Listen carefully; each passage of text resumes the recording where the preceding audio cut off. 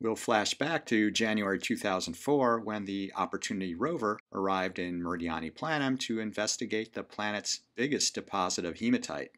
What it found was a total surprise on this episode of Mars Guy. There's a vast plain on Mars at its prime meridian, hence the name Meridiani Planum. If you could see it in infrared wavelengths, you'd find it covered in the iron oxide mineral hematite. Because similar deposits of hematite on Earth involve water, it's a beacon for a possible ancient watery environment. That's why Opportunity was sent there. And here's how it arrived. The lander and rover are cocooned inside a huge set of airbags that inflate just before landing. This now vintage video from Dan Maas shows the landing system in the final moments when the tether is cut and the packages drop to the surface. The kinetic energy and one-third gravity mean the airbags bounce repeatedly and over a long distance before finally coming to a rest, where they were then deflated and the lander unfolded.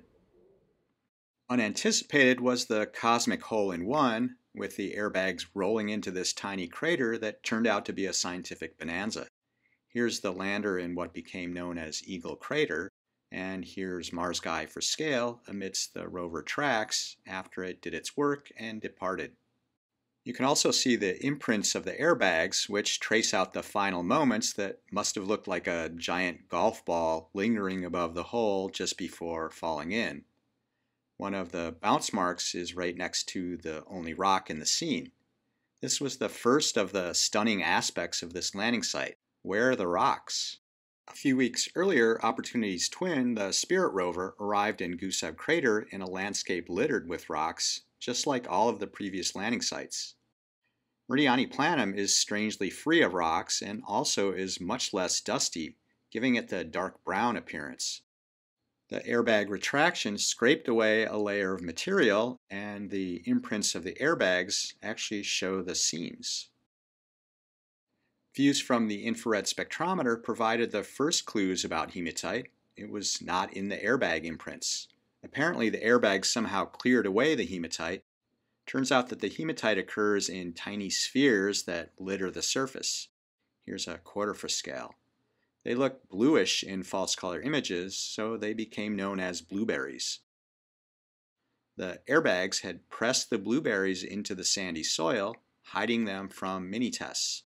No one had predicted the hematite of Meridiani planum would be in the form of little blueberries. But where did they come from? The first place to look was in the light-colored rock outcrops.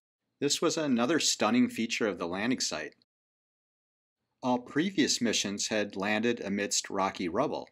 This was bedrock that had formed in place and it was layered like water-deposited sedimentary rocks on Earth. And there they were. The blueberries were eroding out of the layered rocks and the agent of erosion, basaltic sand, was right there in the scene. The hematite spheres are harder than the layered rocks, so they're left behind after the rocks erode. The rock abrasion tool, aka the RAT, ground into these rocks to give the other instruments a better look at their composition. Turns out that they're made from basaltic minerals mixed with sulfates like gypsum and jarosite. These are evaporite minerals that probably formed in an ancient playa lake setting. And the blueberries are probably hematite concretions that formed from groundwater flowing through basaltic sandstone. Similar concretions found in sandstones in the state of Utah are known as Moki marbles. This all adds up to evidence for a watery environment in ancient Meridiani Planum, but it's not clear if this was a habitable environment, and there's certainly no evidence of any inhabitants.